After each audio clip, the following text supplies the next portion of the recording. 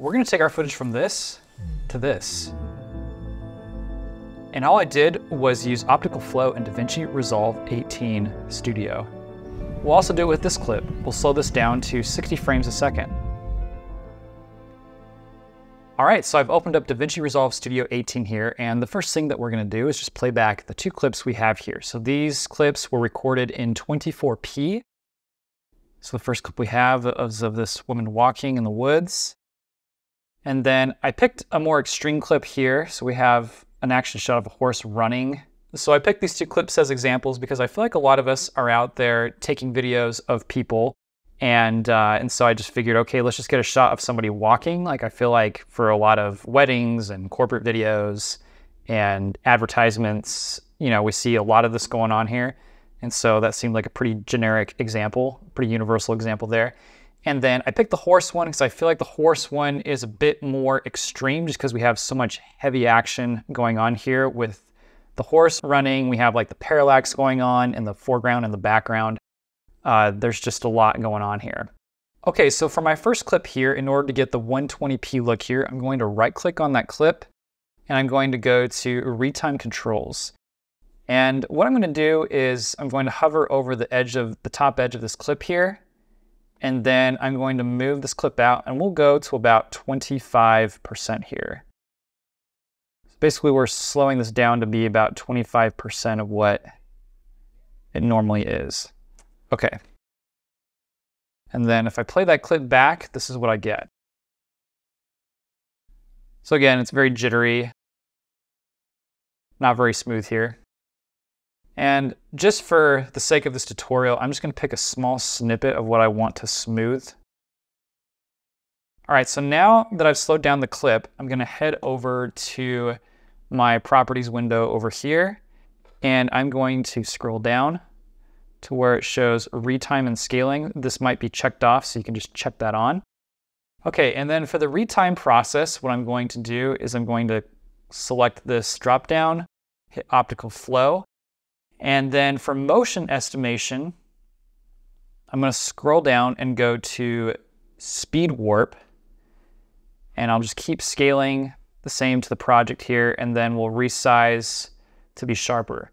Okay, so one important note here with these settings, if you're running on a machine that's a little bit slower, uh, it's not gonna play back in real time on your computer. In fact, your computer might crash a little bit here.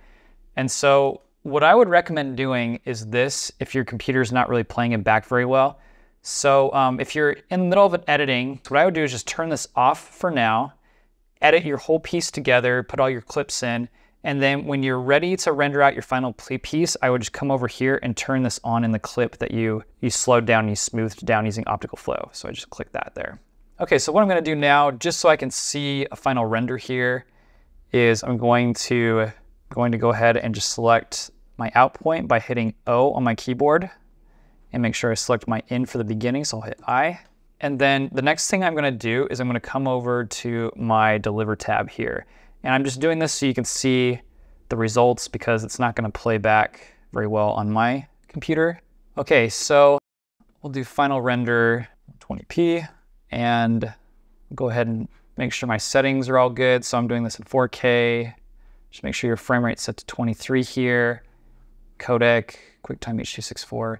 Um, again, if you wanted to like overlay this onto your timeline already, you might want to go with a codec like Apple ProRes, just so that way it retains, um, it doesn't compress it as much. But just for all intents and purposes for this tutorial, I'll keep it at H.265.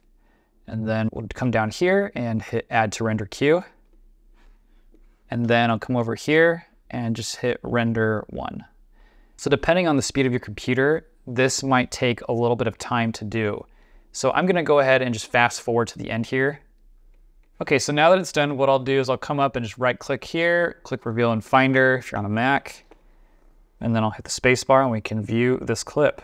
So spacebar. So again, this is four times slower than what is originally recorded at.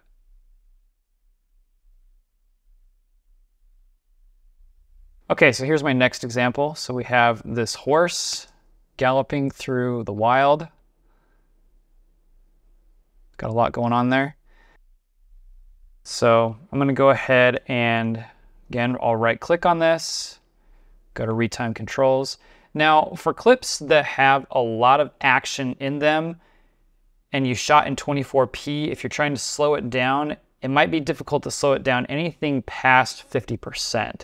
So we'll go ahead and keep this one at 50%. And then again, come over to our retime and scaling here, hit optical flow, hit speed warp, and then hit sharper.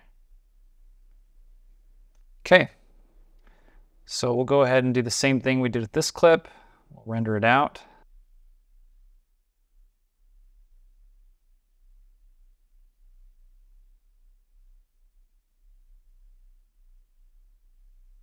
Okay, so that is how you slow down a clip and you make it smooth using optical flow in DaVinci Resolve 18 Studio.